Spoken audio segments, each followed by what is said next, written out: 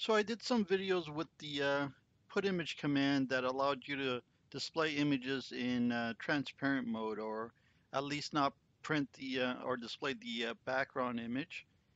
And I did that with uh, Turbo C, it's not Turbo C, uh, Turbo Pascal and QBasic, Quick Basic. Um, and so I did it a few different ways. And one of the ways was to, uh, with Turbo Pascal, was to uh, basically write directly to the uh, VGA video memory. Now that only works with the 320 by 200 mode.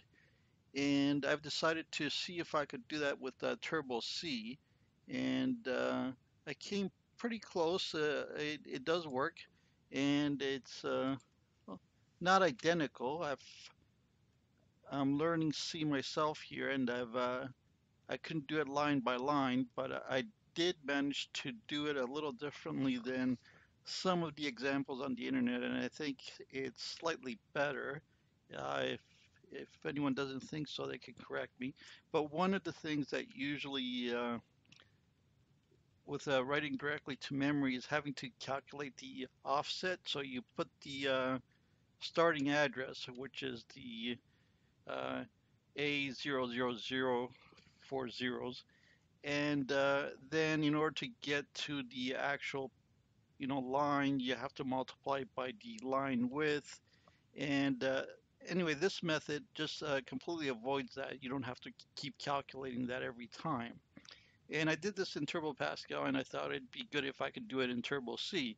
I didn't see anybody else doing it, and so it required a little experimenting. You have to actually put the um, put the array in a struct, and then put a pointer to the struct.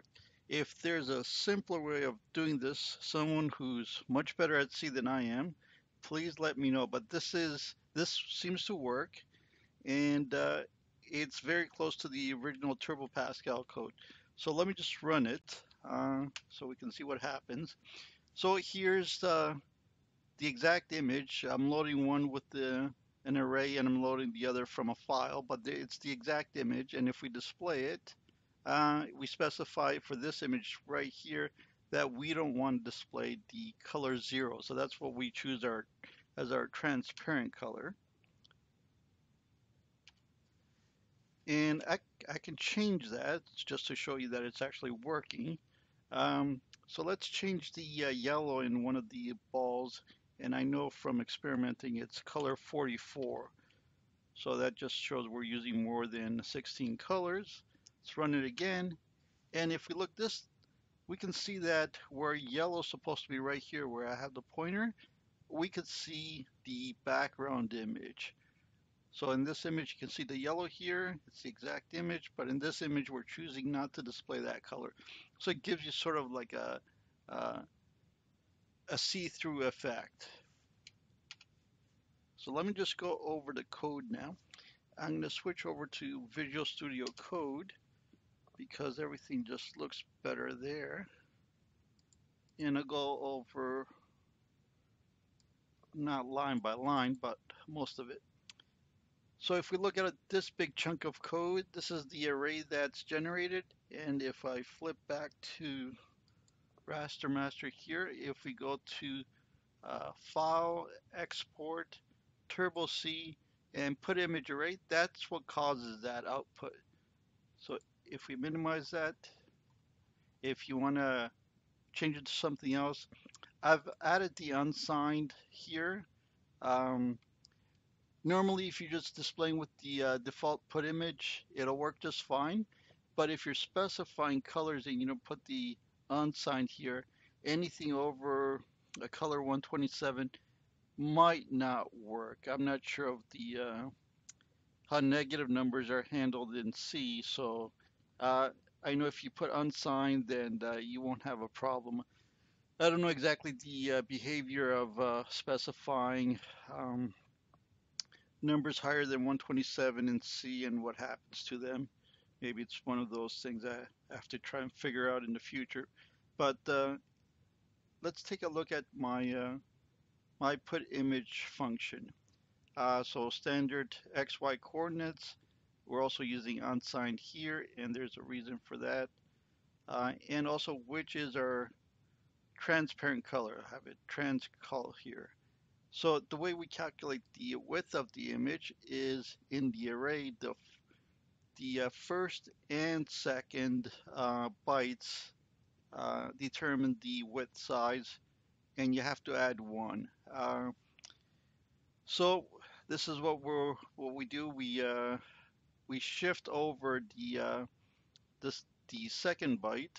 The first byte is index zero. Second byte is index one. We shift it over by eight. Then we add what's in the the first byte. Um, and we do the same thing with height. And we add one to each, and that, that gives us the correct height. Um, we set our counter to four because everything else after the width and height is the image data. So we do a for loop and basically uh, manipulate the uh, video memory here. So this is the pointer to our video memory. The uh, first part here is the uh, y coordinate. Second is the x. Normally it's reversed, but the way the um, the compiler handles the uh, memory mapping, it's got to be accessed this way. So this is this is the way it's declared. If you do it the other way around, it's not going to work. Uh, I've tried it. You can try it yourself, but it's not going to work.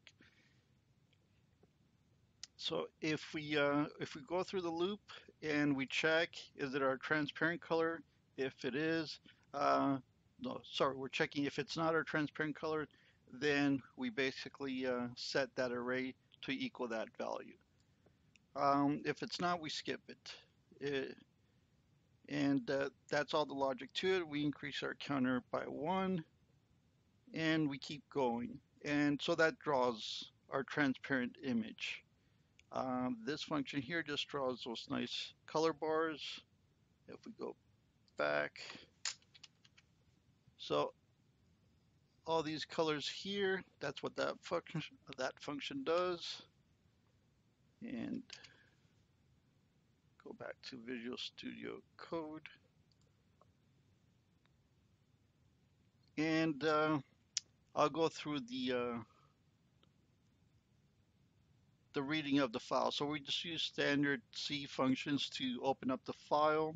So this is where I'm storing it. You would change the location uh, for your program. If you have everything in your current folder, you can remove the, uh, the direct path. In the modified version, which uh, I will upload to GitHub, it will only have the file name. And I, I will include the sample image. And basically, we allocate memory de depending on the size of the file, and then we read it into the uh, buffer. Uh, we're installing uh, a BGI driver, um, and this is a third-party BGI driver. I will include it. Uh, you can also find it on GitHub. I'll try to leave a link to that, but I might forget that one. And uh, basically, we're using mode 0 for this driver, which is the 320 by 200 by 256 colors. And uh, we paint the screen blue. This is it right here. Uh, we draw our bars and we display the image. We use the normal put image command that's built with the uh, BGI uh, library and we use my put image. So we do a side by side and you can see how the uh, transparent works.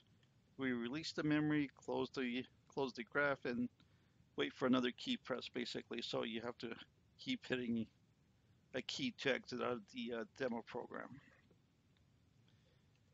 Anyway, that's about it. If you have any questions or you want to correct me with my C, like I said, I'm just starting out with C again.